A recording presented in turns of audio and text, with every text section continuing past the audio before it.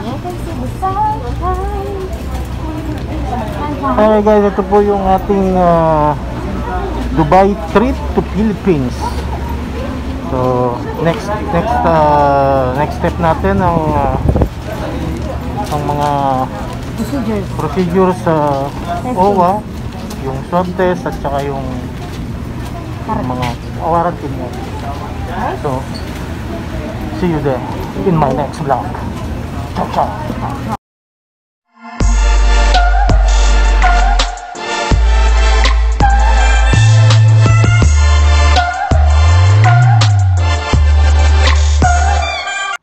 nga pala, sa mga kapwa kong OFW, ah, pag-uwi po tayo ngayon, marami po tayong dapat pilapan.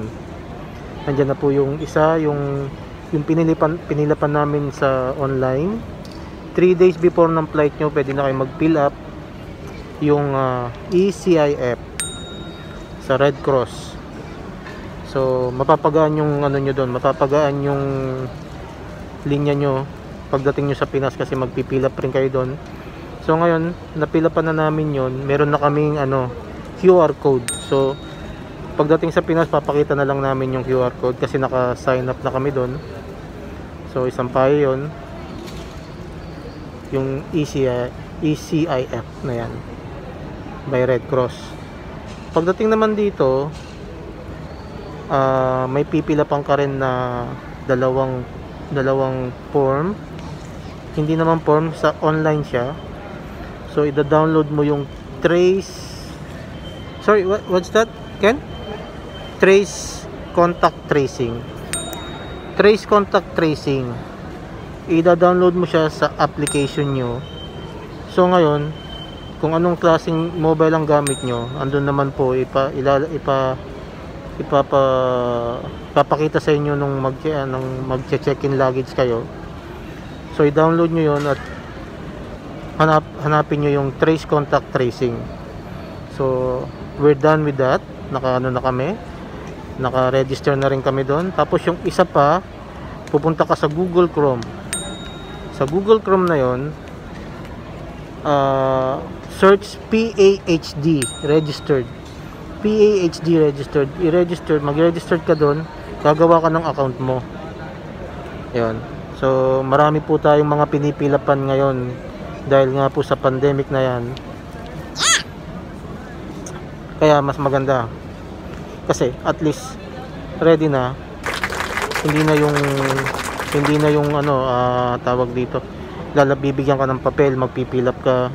Pero to online na. At least ngayon, naka, meron namang wifi dito sa airport. Napakadali. I-download nyo lang yon Kaya napaka-easy lang naman habang naghihintay ka sa boarding pwede mo siyang i, i pilapan via online so guys mga kapwa ko OFW na uuwi uh, yan lang po may papayo ko kaya relax lang tayo hindi naman po gano'ng kahigpit sa airport uh, pagdating sa Pinas tingnan natin kung anong mangyayari One eternity Hey! After 30 minutes, we're going out.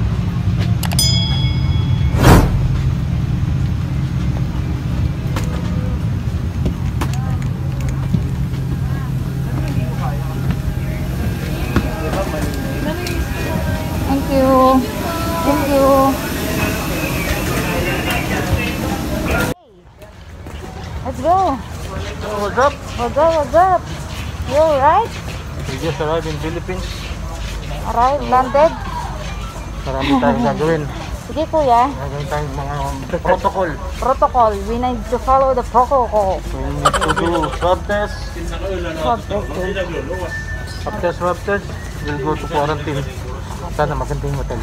Sana sa Tagaytay tayo na guys. Ew! En grande Hindi, para vacaciones. Mas, mas madapit tayo sa atin. Ay, ay, ay. Diba? Yeah. Pwede naman.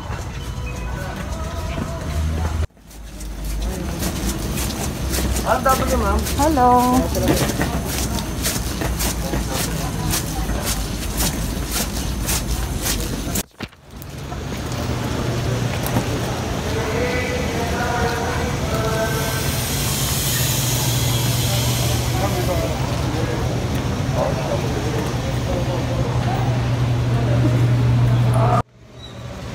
Pipilapan tayo ulit. Owa. So, we need to fill up this form, guys. Let's do this. Ayan guys, kung hindi pa kayo nakapag-fill up ng ah, ECIF sa online, ayan po yung mga matulungin nating Coast Guard, tinutulungan mga kapwa nating Coast Guard. Kasi bakit? Ah, medyo mahina yung ano, wifi or hindi nila alam ang gagawin. Kasi mas maganda talaga kasi ito, kung uuwi kayo after ah, before 3 days pwede na kayo mag-fill up. ECIF sa online lang yan. Tapos i-save nyo lang yung barcode. ECS kasi itong mga to hindi pa sila nakapag-fill up so ngayon nasa huli, nahuli sila sa pila. Saan sila? Okay mga ka-ride, nandito po tayo sa verification ng ECIF natin sa Red Cross. Nakapila tayo. After this, sa swab test tayo. Swab testing. Er, ouchie. Happening at the back. Shout out. Bili na po kayo. Sa aking shop link. So, nakapila na po tayo dun sa ECIF na yan na online for Red Cross at bibigyan tayo ng ng ang tawag nila dito PCG something Code para sa? code for swabbing. So nakapila na tayo dito sa swabbing. So after swabbing, hindi ko pa alam. Baybayan nila. Okay guys, this is the swab test. Hello po. The swab test na tayo. Ayun. Hello. Hello ga. Hard code. Sir, ilong muna.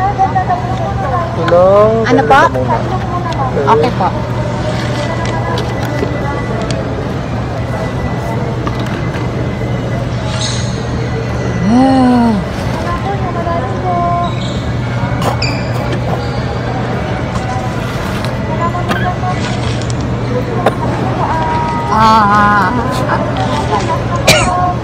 Okay na po. Thank you, ma'am. Oh. OMG.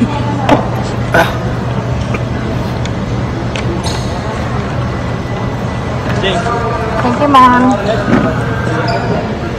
Tissue? Meron ako sa bag. Binuod nyo natin yung sticker. Okay na yan. Ooh! Ang sakit. Pero carry lang. Si Aken. Aken. Don't cry. Tissue, tissue. Nangyari sa Aken. Ah, nakita nyo yan, naiyak. Ah, tissue, pala yung video. What is the... Sana tayo? Stop muna dito? What do you want? Ano tayo ng blue? Oh! My goodness. Umiyak si. Kasi ako, Aken, naiyak ako. may technique doon. Naiyak ako guys. Pero may technique doon. nakita nyo yan, You have to? Napaka-gentle guys, dito muna tayo. Sandali lang ha. Sandali lang, sandali lang. Ayun, Magpupunas muna tayo ng kanina, di ba? luha. So, provided lahat. Ano? Here. Para ako nagkasipul. Kala. Uy.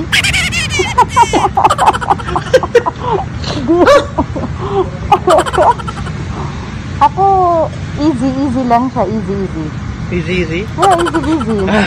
So, let's go. Let's go. What's next? So guys, uh, after this we, we need to go. Let's see what what is next. What will happen? Let's see, what's next? Let's go. I think nag, uh, no, baggage collection na tayo. Let's go. Let's go. Oh. Umiyak siya, guys. Nakaka-alright. Di niya kinaya. Alright. Baggage collection. Konti na lang. Okay na.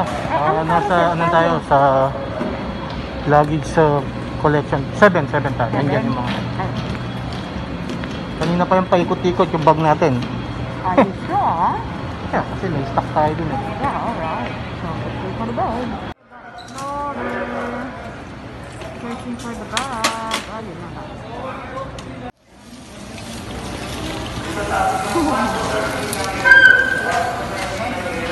Good job, Ken. Good job. Hey. Congratulations! You made it! You made it!